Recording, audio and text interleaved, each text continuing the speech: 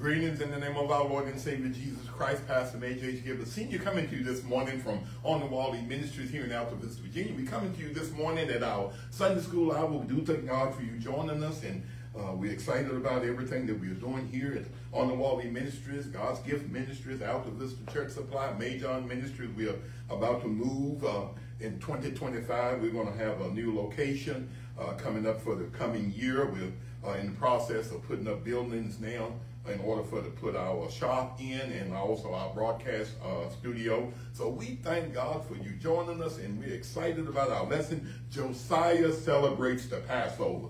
Coming to you our lesson four of our King James Version of our standard commentary. If you're using any uh, universal lesson plan, you can follow along with us this morning. But if you're using Union Gospel Press, it's a different lesson. So here we're coming out of the Second Chronicles 35th chapter, verses 1 through 6, 16th through uh, 16th verse through the 19th verse. Again, as we studied, Josiah celebrates the Passover. As we studied this morning, our lesson aims is to be able to uh, explain the setting and the guidelines for the first Passover celebration that is mentioned in Exodus 12, and then evaluate the significance of Josiah's uh, renewal of the Passover observance for Israel's ongoing relationship with God.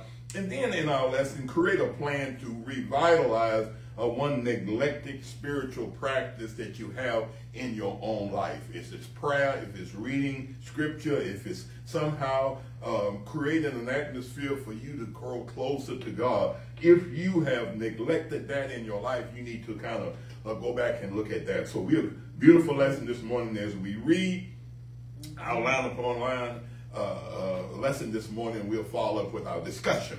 Uh, Second Chronicles 35th chapter, verses 1 through 6, 16 through 19. Our scripture reads, Moreover, Josiah kept the Passover unto the Lord in Jerusalem, and they killed the Passover on the 14th day of the first month. And he set the priests in their charges and encouraged them uh, the service of the house of the Lord. And he said unto the Levites that taught all Israel, which were holy unto the Lord, put the holy ark into the house which Solomon the son of David, king of Israel, did build, and it shall not be a burden unto your shoulders. Serve now the Lord your God and the people Israel, and prepare yourselves by the houses of your father after your courses, according to the writing of David, king of Israel, according to the writing of Solomon his son. Verse 5 and, and stand in the holy place according to the divisions of families of the fathers of your brethren, the people, and after the divisions of the families of the Levites. So kill the Passover, sanctify yourselves, and prepare brethren, prepare your brethren, that ye may be do according to the word of the Lord by the hand of Moses. So all of the service of the Lord were prepared on the same day the, uh, to keep the Passover, to offer burnt offerings unto the altar of the Lord, according to the commandment of King Josiah. And the children of Israel that were present kept the Passover at that time, and the feast of unleavened bread seven days. And there was no Passover like that kept in Israel from the days of Samuel the prophet. Neither did all of the kings of Israel did such a Passover as Josiah kept and the priests and the Levites and all Judah and Israel were present and the inhabitants of Jerusalem. In the 18th year of the reign of Josiah was this Passover kept. Again, we want to look at this morning, uh, setting some guidelines of the first Passover as we studied this in Exodus 12, and then evaluate the significance of this renewal of the Passover and create a plan to revitalize one area in your spiritual life uh, that you need to uh, somehow revitalize a neglected practice that you have been doing unto the Lord. So as we read this morning our introduction, rituals or ritualism. Know, when you hear and read the word ritual, uh, it is your immediate reaction positive or is it negative? Chances are that uh, the first reaction is negative uh, as the word ritual conjures up mental images of tedious formal ceremonies that bear little uh, relevance to the reality. We may also think of rituals as just going through the motions uh, and then of a periodic uh, observance where one's thoughts and attitudes don't match uh, one's actions while ritual is underway.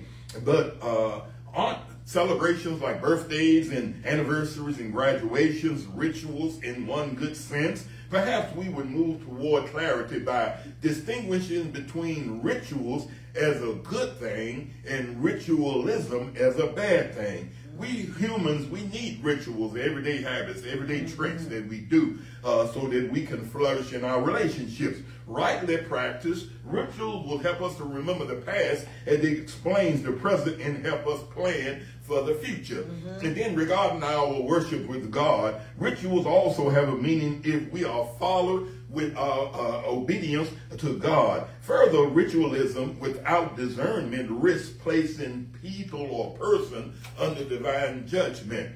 Uh, God knows our ritual, and that's why he established your annual feast in an Old Testament covenant people. And today, uh, as we study, we'll examine the renewed practice of one of those rituals. As we look at our lesson context this morning, uh, today's lesson uh, comes out of the year 623 uh, BC, uh, the 18th year of the reign of King Josiah, king of Judah. And this moves us toward uh, some 336 years after King Solomon's dedication of the temple at 959 BC and 79 years after King Hezekiah's prayer of 702 BC, in the year 623 BC positions these events of today's lesson right about 100 years since the Assyrian Empire cast Israel's 10 tribes into exile, and uh, unbeknown to the Judeans at that time, their removal from the land lay only 37 years in the future, that is 586 BC. And then 31 year reign of Josiah, uh, King Josiah, over the southern kingdom of Judah was uh, a, a, time of respite for the uh, consequences of sin. And uh, that was a direct result of Josiah's godly leadership. In process of purifying in the land or renovating the temple, a certain priest found a book of the law that the Lord had given unto Moses. And some today believe that it was a copy of Deuteronomy. And King Hosea was so shaken to the core that he heard the book read, Second Chronicles uh, 34 and 19. He acted immediately, receiving both bad and good news. In return, uh, even and he continued to exercise godly leadership in both uh, word and deed. His leadership included uh, instituting the celebration of the Passover mm-hmm. Uh, or reinstituting uh, the, the uh, celebration of the Passover. Mm-hmm. And this neglected feast had been instituted over 800 years previously to the mark to divine uh, liberation uh, that Israel from Egyptian slavery. And the feast revival is the focus of our lesson this morning. Mm-hmm. First of all, we're going to begin studying the preparation, taken out of Second Chronicles 35th chapter, verses 1 through 6. It begins in verse 1. He says, Moreover, Josiah kept a Passover in the Lord in Jerusalem, and they killed the Passover on the 14th day of the first month. So here at the beginning of this verse begins in Second Chronicles uh, uh, 35 and 19 uh, from the, uh, the bookends of our account in our text today. And it says here that the celebration of the Passover in our text was not only an act of obedience to the law of Moses, but it was an act of a covenant renewal. Passover had not been celebrated for some time, and at least in the manner of King Hosea intended it to be celebrated. Mm-hmm. And then uh, uh, King uh, Hezekiah, he reigned over Judah from 716 to 687 BC. He celebrated extended Passover after he had renovated and reopened the temple. But not since then had there been a celebration like King Josiah had intended. So it says in part B that they killed the Passover on the 14th day of the first month.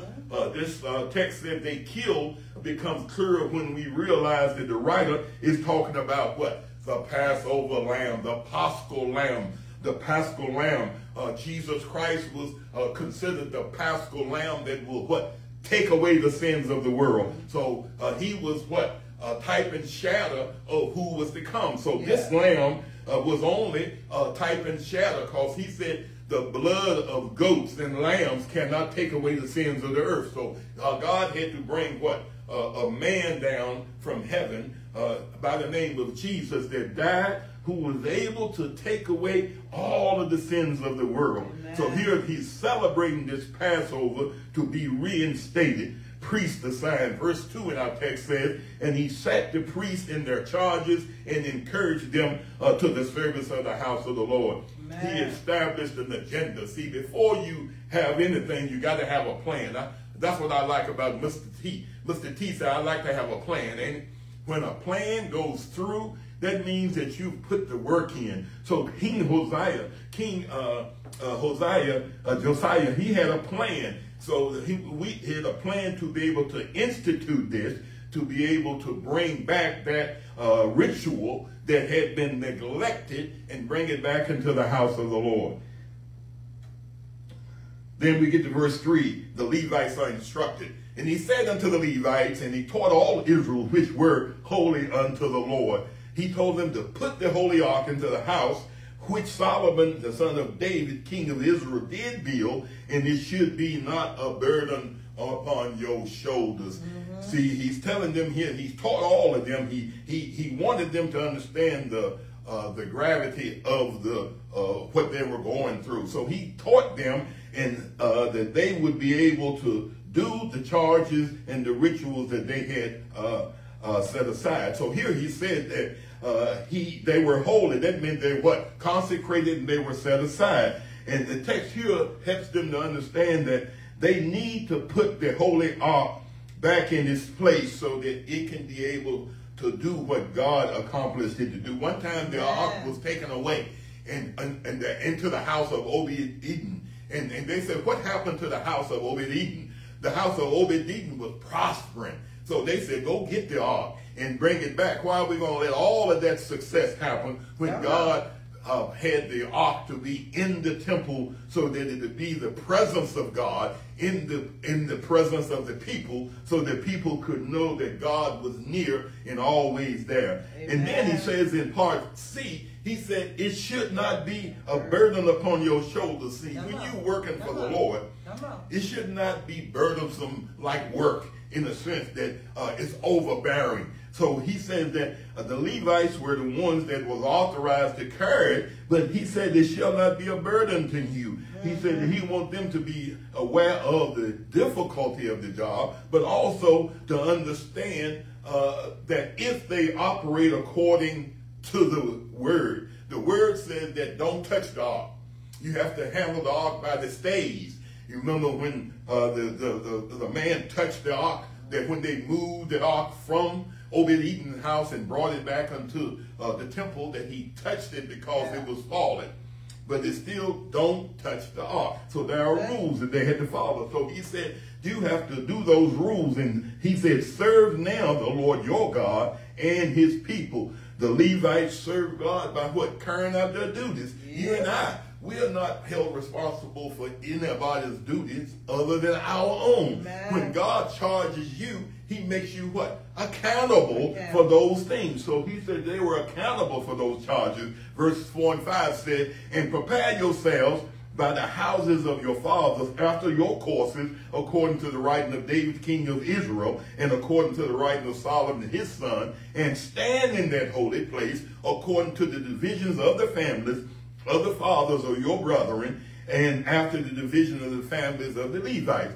The Levites were what? To prepare themselves for service by organizing, I'm going to say organizing themselves uh, by their respective clans and their assignments. You remember when, when uh, uh, the father of John the Baptist, uh, when the father of John the Baptist was given the news about the birth of John the Baptist, you know, he kind of made jest of it. And he, what? He couldn't talk until after the birth of John the Baptist. Amen. But the thing is, when he was in the temple, when uh, the Spirit of the Lord spoke to him, he was doing his course. Yeah. That means that he had a designated time for him to light the incense or yeah. carry out the charge inside of the temple. Amen. So here he said the Levites were to operate according to their course, according to how they were assigned. He said by the divisions of their families and by the order of those things that were established uh, by the law of Moses. So yeah. King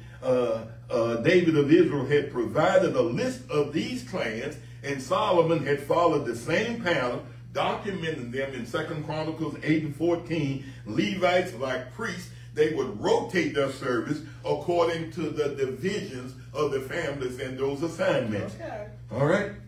So here he says in verse 6, he says, So kill the Passover lamb, sanctify yourselves, and prepare your brethren that they may do according to the word of the Lord by the hand of Moses. Uh, this verse gives us what three instructions. He mm-hmm. tells them to kill the Passover. That means kill the Passover lamb, a lamb without blemish. Any blemish will not take away the sin. So he said, bring a what an unblemished lamb, mm-hmm. Kill that lamb, and then he said also sanctify yourselves Make sure yourselves have been sanctified. He says, since this was the only one of the several tasks assigned to them, they would require to purify themselves following the sacrifice. And this was the issue of setting a person or one thing apart for a, what, a, a sacred task. Uh, that means that they were set aside or they were set apart or sent. And then he said, prepare the brethren according to the word of the Lord. The four words uh, in the partial translate uncertainty in our text. It's kind of uncertainty unknown that the textual variations, many manuscripts have been wording these translates that the Levites were to prepare their brethren. Other wording says that prepare the Passover, prepare for the lamb that was going to be slaughtered. So get ready for it. Remember he told Jesus when he was getting ready for the Passover, he said, go and find a man and he'll have that upper room prepared. He'll walk with a basin. And when you see him with that basin, tell him to prepare the upper room for the Passover meal. Amen. So everything had to be done according to the law of Moses. He said, prepare it for your brethren and do it according to the word of the Lord by the word that God has instructed through Moses to them. First of all, uh, we went through our text, but now let's get to celebration. How do we celebrate? Second Chronicles 35, 15 through 16 tells us about the celebration. Uh, verse 16 says, So all the service of the Lord was prepared on the same day to keep the Passover and to offer burnt offerings unto the altar of the Lord according to the commandment. This verse sums up the preparation that was prepared uh, in our text. It, it says that at least 41,400 animals were available for the sacrifice in Joseph's Passover. There was more than twice that Hezekiah did when he uh, uh, when he uh, uh, when they uh, dedicated the, the second temple, mm -hmm. the second time.